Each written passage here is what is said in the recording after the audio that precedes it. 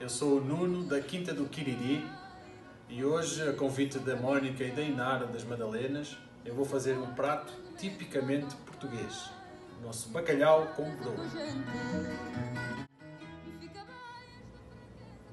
Para este prato nós precisamos de meio quilo de bacalhau dessalgado, quatro cebolas grandes, alho, azeite, um cálice de vinho branco ou rosé português e a nossa broa portuguesa feita na nossa quinta do Quiriri, uma receita aprendida com a avó portuguesa que nós trouxemos para cá e fazemos aqui para vender a todas as pessoas que quiserem. Para começar, nós vamos pôr o nosso bacalhau na panela e vamos deixar cozinhar durante 5 minutos. O nosso bacalhau já está a ferver faz 5 minutos. Nós vamos desligar agora e vamos correr o bacalhau.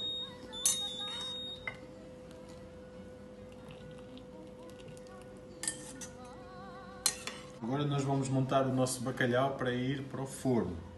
Então nós fazemos uma camada de cebola, aí nós vamos colocar o nosso bacalhau.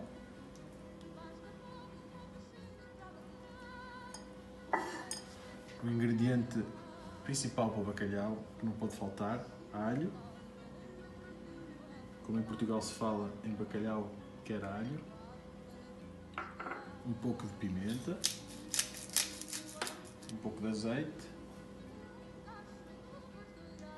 E fazemos mais uma camada de cebola. Um pouco mais de azeite.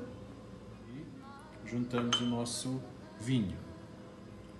Quem quiser, um pouco de sal por cima da cebola para ela não ficar tão sem sal. Um pouquinho só. E vai ao forno durante 20 minutos. Enquanto o nosso bacalhau está no forno, nós pegamos metade da nossa broa de milho e cortamos algumas fatias, tiras broa. Esta broa que a gente está a cortar aqui vai ser colocada por cima do bacalhau. Agora nós vamos colocar a broa por cima. Carregar com o resto do nosso azeite.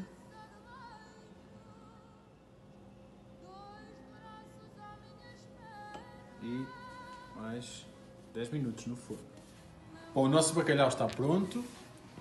Como sugestão de acompanhamento, nós temos uma batata ao murro e uma azeitona portuguesa temperada com ervas e alho e limão. E antes de comermos o nosso bacalhau, a nossa radiestesia energizando a nossa comida. Bom, espero que tenham gostado. Uh, espero por vocês uh, nas feiras e até já.